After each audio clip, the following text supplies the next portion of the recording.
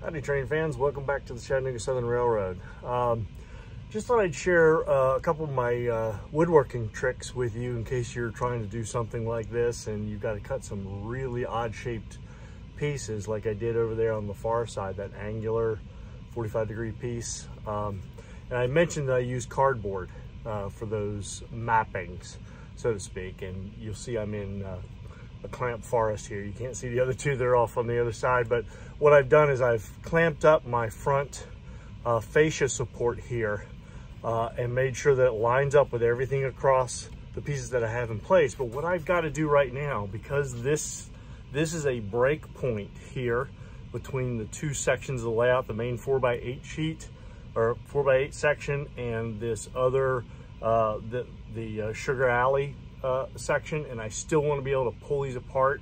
Um, I don't want to connect a long piece all the way across all of this. What I want to do is put a, another support piece here back to this stanchion that's back here. So what I'm going to do is I'm going to show you how I do this. So what I did is I cut um, a piece of cardboard, three and a half inches wide, which is basically a one by four width, okay? Uh, and somewhere around here I have a pencil. Yep, I do, right here. So what I'm gonna do is I'm gonna lay this piece of cardboard up against this piece and I'm gonna slide it forward if I can. And I can't, well, thought I had it figured out. All right, I'll reclamp that to give myself a little more room. So what I'm gonna do is I'm gonna set it up on top here. I'm gonna line it up this edge against this edge because this is the break point. I'm gonna slide this forward and you see it, it just clears um, out here, okay? And so what I'm gonna do now is, now that I've got that in place, I'm gonna hold it back here. I'm gonna draw a line back here to show where this cut's gonna be. And then with that in place, what I'm gonna try to do, haha, if I can, is take a couple quick marks, one right here where it meets this, and then since this is a front face, I'm gonna draw a line there.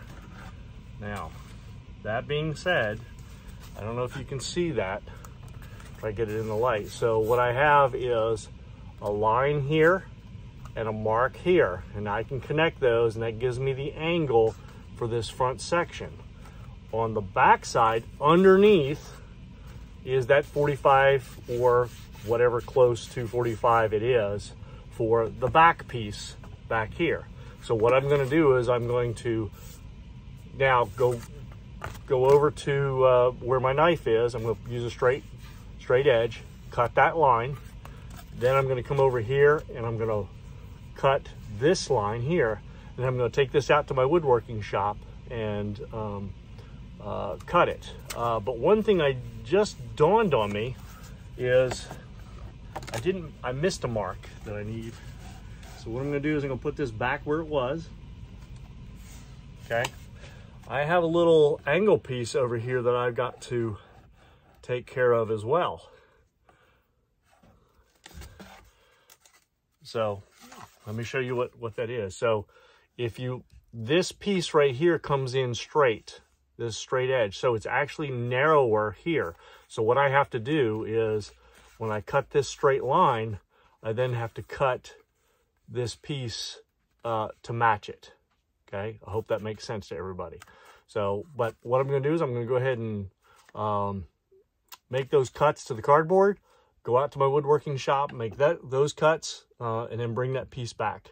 And uh, I'll show you that piece uh, when I give you an update about everything else I'm doing today. So anyway, clamps in the way. We'll see you on down the tracks. Bye.